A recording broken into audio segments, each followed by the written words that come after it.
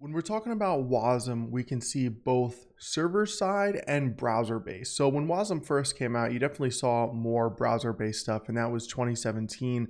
But I believe since 2019, that's when they've been doing the whole WASI thing, which is the interface. And that interface allows you to do some server side pieces those server side pieces allow you to have IO. When I say IO, I'm talking about the ability to connect to networks, the ability to connect to local storage, for example. So that's really where the server side piece and the WASI piece comes in. Now, we're typically going to see this on, you know, maybe in Kubernetes or maybe in, you know, Docker engine or on a VM or something, maybe even serverless, wherever it's running. But you can also test your WASM apps locally. And that's what we're going to see in this video.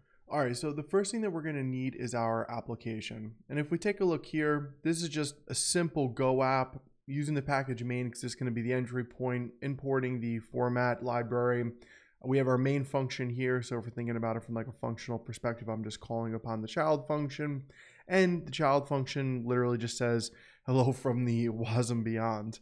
All right, so if I just do go run main.go, we can see that's the output. It's just printing to the terminal right? So now what we're going to do is we're going to set up a couple of environment variables, GOOS and GOARCH or architecture, all right? So we're pretty much telling Go we're going to use WASM and using WASI as the interface, okay? And then you do a Go build, and then the output is going to be main.wasm, and that's going to be based off of this main.go, right? So if we take a look here, that's the file that's in our current directory. Let's go ahead and run that. Okay, now if we take a look, notice how we have this main.wasm binary. We can go ahead, we can see it right here, okay? So now all we have to do is just run wasmtime main.wasm and boom, we have our output.